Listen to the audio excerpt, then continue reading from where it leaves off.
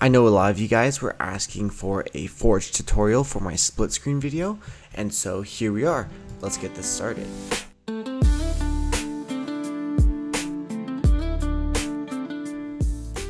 Assuming you know how to get to the Modrinth app, you've got it open here, you're going to click the plus sign.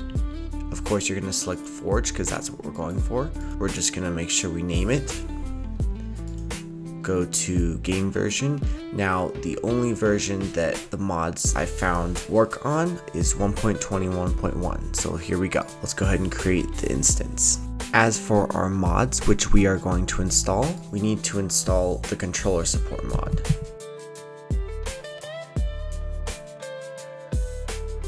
Now this is where I ran into my first issue when I was making this video because it installs Unilib. We need Unilib but it gives us a version that is really not going to work for us. We're going to go ahead and switch it to 12.0.7. This is going to do much better. We're also going to install in-game account switcher this is the configuration that I got that works. Since I want player 2 to have the controller, I'm going to change this to player 2. Perfect. And then I'm going to create one more.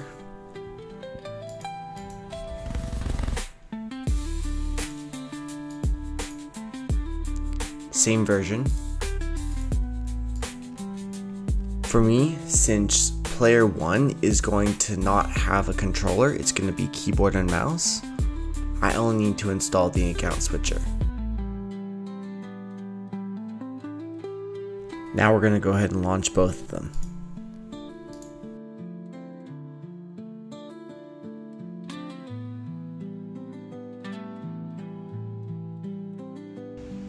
Awesome, luckily I didn't have any crashes this time, that's a plus.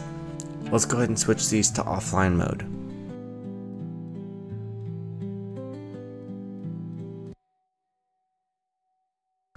Awesome, as you can see, they are both offline usernames. I've actually already got my controller connected, so let's see if it works. Not yet.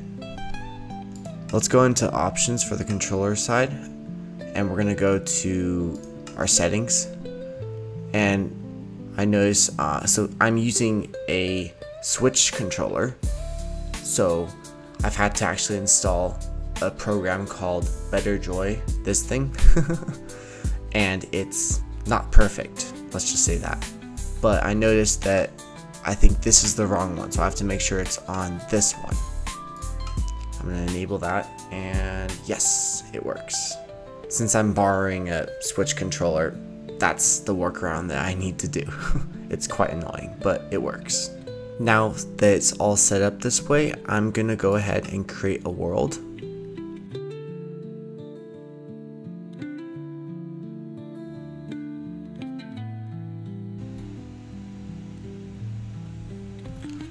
And we'll do the same thing we did in the other video. Open to LAN. Join it from the other side. Awesome. And now I've got my controller working and I've got the other side working. Keyboard and mouse right here. Awesome. It works. Thanks for watching. See you next time.